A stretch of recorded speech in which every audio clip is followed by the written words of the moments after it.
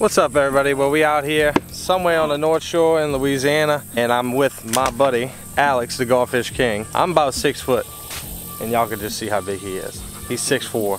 He's way bigger than me. He look like he can palm my head and just smash me in the ground. And that's Robert. They're out here catching big old alligator gar. So y'all seen that in the preview and now here goes. This is how he caught it. Oh yeah. Running good.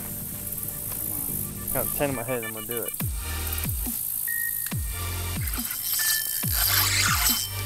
Oh, that's a big one.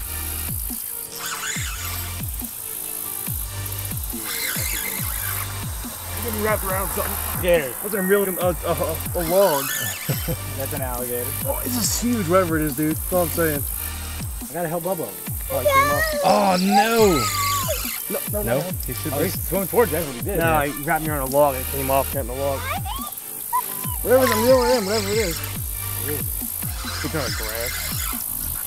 No, it's still swimming like this, right? It's still a fish. It's swimming sideways, fuck whatever what it is.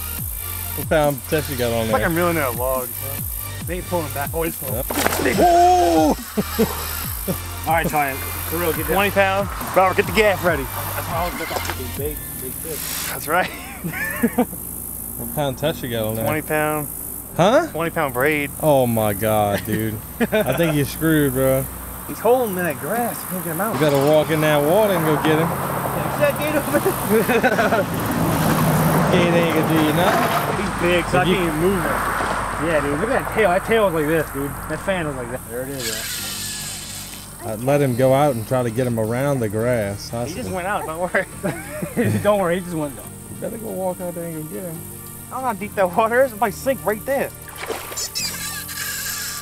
There you go. He, he's out of the grass now. Oh no. Now he's back in more grass. He can move. I can't. He won't run out. I try. I try to let him run out. He won't move. He's there. He's there already. He's, he's there. It's just the longer you keep him in the water, the more chance you're gonna have to get off. And that is that big that trouble you get.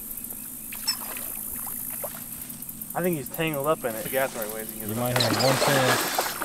Put the pallet right Yeah, there. Robert, the pallet. Put the pallet right there in front of you and just step out there. and- Nope. Oh, I really right my mouth, dude. That's some slump water.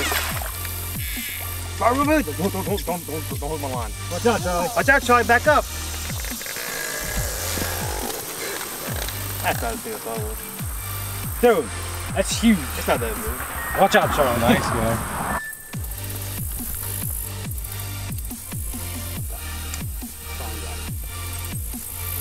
There you go. It's a nice score. About four foot. It's gonna be old Din Din, huh? I got scales.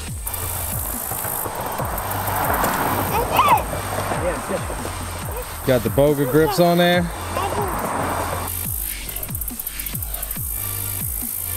Give y'all a little heads up about garfish, uh, they actually are pretty good to eat. I've actually had one before and it tastes pretty much just like a crab cake to me. That's what it tastes like. Uh, Alex, they're gonna put out a video about how to clean it and whatnot, so y'all gonna make sure to check that out. And uh, that's why he pretty much gaffed it and everything. He's gonna take it and he's gonna go home and eat it. They're actually pretty good. They stink when they when you first catch them and everything, but after that, you know, when you clean, you boil down the meat and everything, you put it into like a, it's like a, it's like a specialty dish out here in, in South Louisiana. They call it uh, gar balls. Pretty damn good. I'm not even gonna lie. Like I was kind of apprehensive to eat it the first time I ate it, and it's it's delicious. So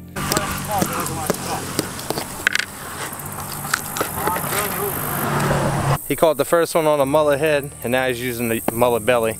And uh, it's a pretty nice sized gar. It's not the biggest gar in the world, but definitely a nice one. Fishing with a steel cable down to a big treble hook, and that's how he's getting them. Oh, another one, though. 85 pound of braid on here. Run, baby. Oh, there you go. So what he's doing, he's letting them run, letting it try to get down in his stomach a little bit or down deeper in his mouth. What gars like to do is pretty much just mouth the bait, mouth the bait, mouth the bait. God, look at him tearing, tearing off one. When I get the yellow, I'm hooking it. That's too far. God, he's running with that thing hard. Why they come off? Oh, man. He's a big one. Stuck in the grass right now. Playing the violin. He's right down on that again. There you go. Now you have to get into the stuff. Just pulls his line in the back leg. See that? That's in my leg. I don't think so. It's not moving at all. Keep pulling. Oh, there he is. Who's not nice. Tend to give up. Like once you get close like that. Watch out, Charlie. Go, back up.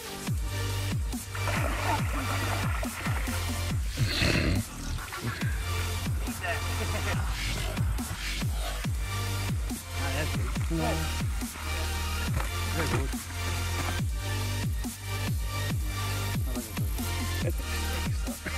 They stay. Oh, yeah. Sound like a little.